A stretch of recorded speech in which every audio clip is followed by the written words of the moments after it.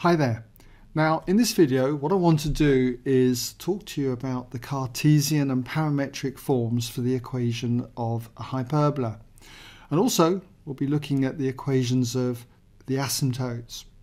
But before we start, the hyperbola that's given by this curve here that you see in red is defined as the locus of a point P that moves in such a way that when you compare the distance P to a fixed point S called the focus to that of P to a fixed straight line called the directrix, when you compare those distances PS to PM, it's a constant value. We call it E and it stands for the eccentricity where for a hyperbola E is always greater than 1.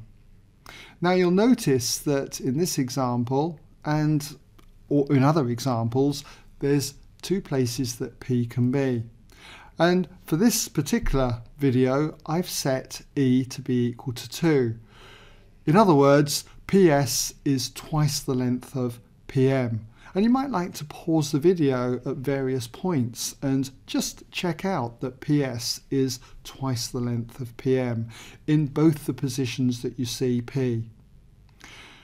Now, the other thing I showed you in an earlier video was conic sections, and we can define a hyperbola when we take two cones, as you see here, and cut them with a vertical plane. The section we generate is a hyperbola. Now, if we take a hyperbola and put it on axis, then it can be shown that the Cartesian form is of the form x squared over a squared minus y squared over b squared equals 1, where a and b are constants. And in a later video, I'll prove this to you. But for now, all I want to just run through is the points where it crosses the x-axis. We'll talk about asymptotes and also the parametric forms that you can have.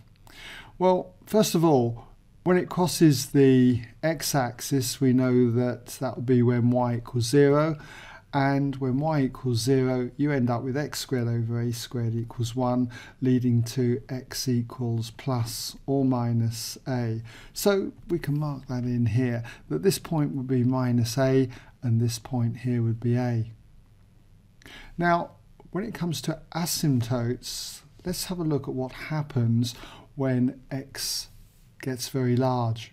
We can see then that the difference between this term here, x squared over a squared, and y squared over b squared, has got to be negligible. We're told it equals 1. So for very large values, we can see that when x tends to infinity, then x squared divided by a squared must be roughly the same as y squared over b squared. And if we rearrange this, make y the subject, then it follows that y would be equal to plus or minus b over a times x. So that's the equations or asymptotes. And if we mark them in, they're going to look something like this y equals b over a times x, and this one down here, y equals minus b over a times x. Now, the next thing I want to look at is the parametric forms of the hyperbola. And there's two parametric forms that we can have. The first one is the hyperbolic form, where x equals a cosh t and y equals b sinh t.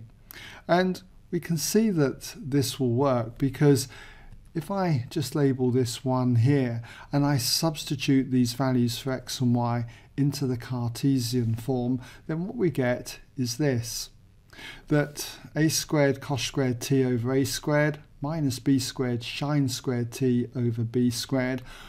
Well, in this, the a squareds cancel one another out, the b squareds cancel one another out, and you're just left with this equaling cosh squared t minus sinh squared t. And we should be familiar with this identity, it equals 1. So you can see that both x and y satisfy the Cartesian form here. Now the other type of parametric form that you can get is the trigonometric form. This is where we let x equal a sec theta and y equal b tan theta. And if this is the case and we make that substitution into 1, then we get a sec squared theta over a squared minus b squared tan squared theta over b squared. And again, here we can see that the a squareds cancel one another out and similarly the b squareds cancel one another out. And that leaves us with sec squared theta minus tan squared theta. And you should be familiar with that identity, it equals 1. So we've got then two parametric forms that we can turn to for the equation of a hyperbola. So I hope that's given you an idea now of the Cartesian form, the equations of the asymptotes and the parametric forms that we can use for the equation of a hyperbola.